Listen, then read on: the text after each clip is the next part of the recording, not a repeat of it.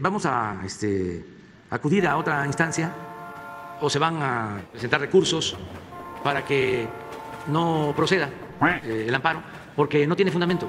Este es un asunto politiquero de quienes no quieren que se lleve a cabo la obra. Son pseudoambientalistas financiados por grandes empresas, sobre todo del turismo, y también por gobiernos extranjeros. Hay ambientalistas financiados por el gobierno de Estados Unidos y eh, vamos a poder cumplir, porque estamos hablando de un tramo exactamente donde hay más dinero. Son 1.500 kilómetros. Ahí está Escaret, ahí está Vulcan.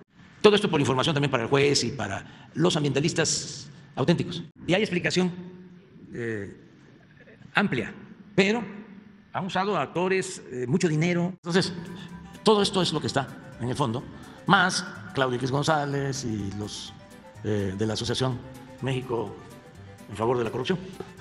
Fonatur también bueno, informaba que van a continuar, eh, pues las obras van a continuar con el proyecto. A continuar con todo el procedimiento legal sin ningún problema y estamos eh, seguros de que la obra va a continuar.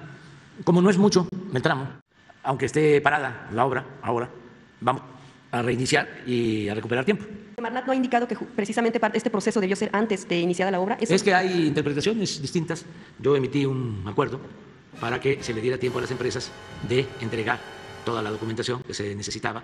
La Suprema Corte declaró procedente o válido el decreto, porque también lo impugnaron, y eh, ahora, eh, de acuerdo al criterio que se está aplicando, no se toma en cuenta ese decreto.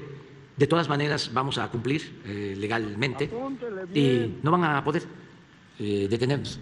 No van a imponerse los intereses particulares, no van a estar por encima del interés general, del interés de la gente, del interés del pueblo, del interés de la nación.